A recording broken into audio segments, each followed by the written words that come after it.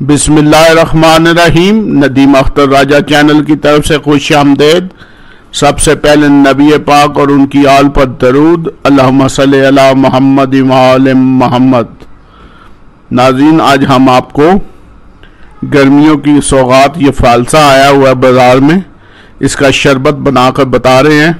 ये बहुत ही ज़्यादा तासीर में इसकी ठंडी होती है। और ये गर्मियों के लिए बहुत ही अक्सर है। मैदा मैदा, जिगर और मसाने की गर्मी के लिए ये शरबत बहुत ही अक्सर है। ये आज हम आपको बनाकर बताएँगे, जिसके लिए हमें एक किलो फालसा ले लिया है और इसको अच्छी तरह धो लिया हम, हमने। और आधा किलो चीनी ले ली है और हाफ़ टी स्पून ये काला नमक ले लिया है। ये तीन सिर्फ़ चीज़ें आपको ये बेहतरीन शरबत बनाकर बताते हैं हम।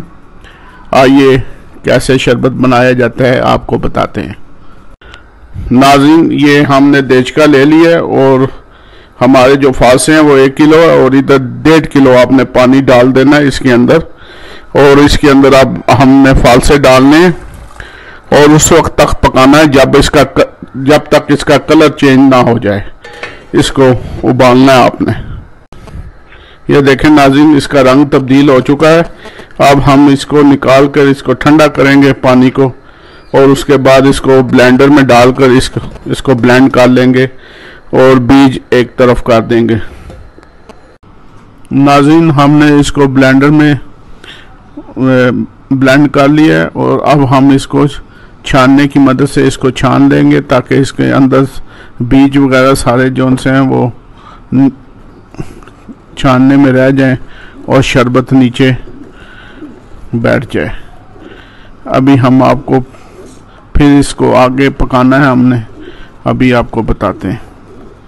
नाजीन अब हमने एक देचके में आधा किलो पानी डाल दिया और उसके अंदर हम आधा किलो चीनी शामिल करेंगे और इसको अच्छी तरह मेल्ट करेंगे पानी में।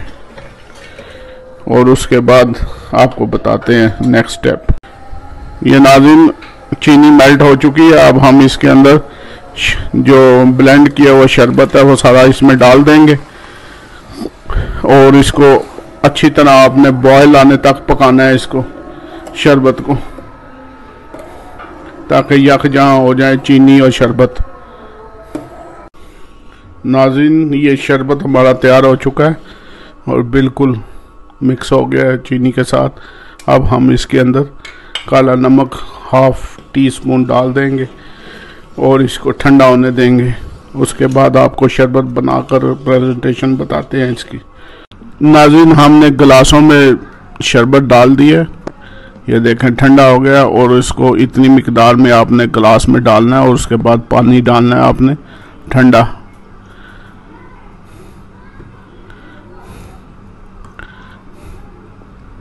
और जो भाई ज़्यादा पीते हैं बर्फ़, वो बर्फ़ डाल सकते हैं और जो नहीं पीते, ज़्यादा ठंडा, वो बिल्कुल ना डालें।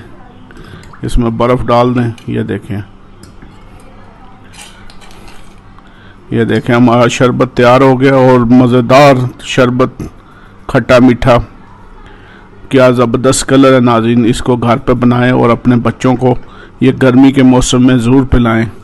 ताकि गर्मी उस, उनको लान लगे, क्योंकि बच्चे बाहर खेलते हैं धूप में तो उनको लू लगने का ख़तरा होता है और यह शरबत लू से बचाता है। मेरे लिए और मेरी वालदा के लिए दुआ कीजिएगा।